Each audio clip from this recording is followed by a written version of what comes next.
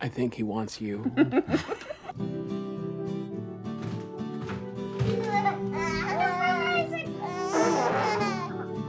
Jake's very special.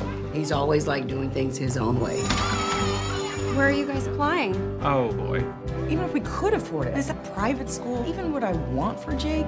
I I know we've always said we're not those parents, but Well, can't I don't afford to be. Maybe The numbers are ridiculous. You have to remember, everybody wants diversity. Why not talk a little about his gender expansive play? You want him to be somewhere he can thrive, right? you really don't think it's weird? I mean, he does like to play dress up. That's not news. Yeah, he likes fairy tales, but maybe that's not the most critical thing worth mentioning. He asked why boys can't wear skirts. I don't want to send him off to kindergarten labeled. He's only four. What if he starts thinking there's something wrong with him? Where is my favorite grandson? I haven't heard from you in over a week. Can't push, push, push. Gotta let go, right? In a few weeks, we'll visit some new schools, and you should just be yourself. And that's all that matters, okay? So it's no big deal at all.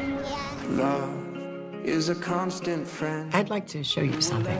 There were one or two incidents in class. I hate you! And love is a hand to lend. kindergarten it's so hard for a child you know who, who just What?